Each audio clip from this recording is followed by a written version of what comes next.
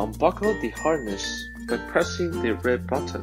Hold the two buckle latches together and engage them before putting into the harness buckle. To loosen the shoulder harness straps by pressing the button in between the child's legs and put the two shoulder straps at the same time. Remember to tighten the shoulder harness straps by pulling the crotch adjuster belt towards to you.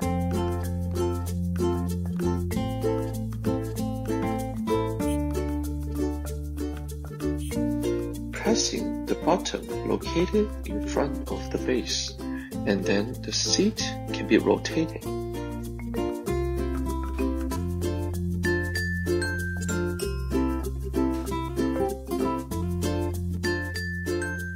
Pull the headrest height adjuster and headrest at the same time. Don't forget to select the correct height of the shoulder straps and engage in the position fits your child by releasing the adjuster.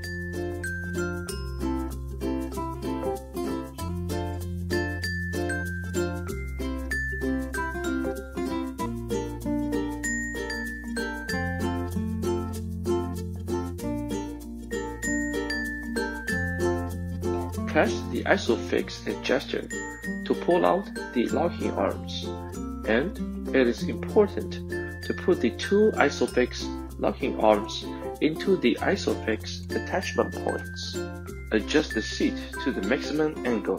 Press the button in front of the base and rotate the seat to the rearward facing position.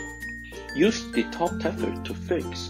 Put the top tether long enough to hang the latch on the back of the vehicle seat. Fix the top tether on the fixing point. Make sure the hook is tightened up.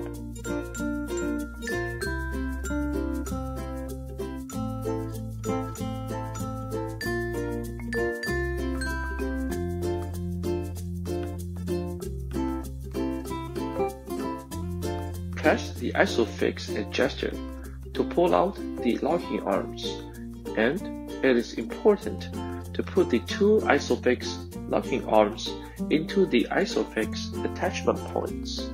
Adjust to the desired recline position before install the car seat. Pull out the vehicle belt. Thread the belt through the back side of the seat pad. Ensure it is not twisted. Engage the vehicle buckle and tighten the vehicle belt.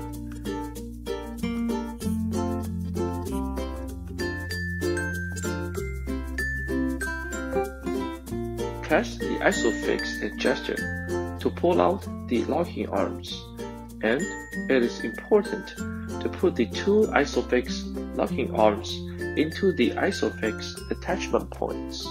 Make sure the 5-point harness and seat pad has been completely removed. Ensure to loop the vehicle shoulder belt through the vehicle shoulder belt guide. Pass the vehicle waist belt through the vehicle waist belt slot.